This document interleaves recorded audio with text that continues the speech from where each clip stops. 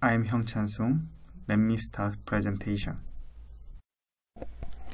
Interchannel phase difference IPD picture is widely used as spatial cue for many multi-channel audio application. However, when we use IPD, there is spatial aliasing problem that makes difficult to use IPD in all frequency bin like this figure. So, to avoid this problem, the conventional method use IPD below the lowest frequency bin affected spatial aliasing or minimum distance between microphones. Recently, phase replication method was proposed to address spatial aliasing issue. This method considered DOA candidates corresponding to all the possible on phase difference in all frequency bin. The author's level DOA histogram H is constructed as follows, and then DOAs are estimated from peaks of this histogram H.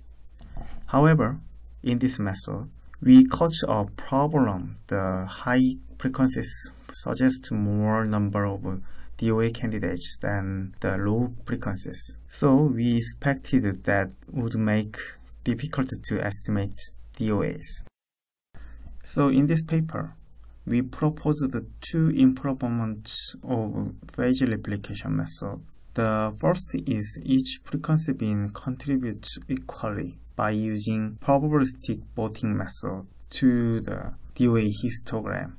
So these figures show probabilistic voting method could make true fix more clearly. And the second is to apply spectral high SNR mask and coherence mask to exclude the TF bins corrupted by background noise and interference sources severely. In our experiment setting, we can see proposed method outperformed the conventional approaches in various SNR and reverberation conditions.